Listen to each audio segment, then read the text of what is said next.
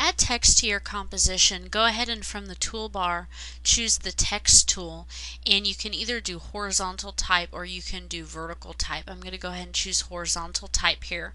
Notice that the character pane and the paragraph pane popped up for me. I'm going to go ahead and click on my composition where I'd like to add my text. And I'm going to go ahead and you could do um, an alignment if you want um, on the paragraph panel. You can also change the font that you're using. And you could choose the style.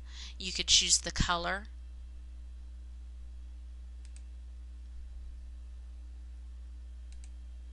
And go ahead and for the text color you can go ahead and you could pick a color from there. You could choose the size if you want to choose a larger size. Um, you could choose different things like the leading and the kerning.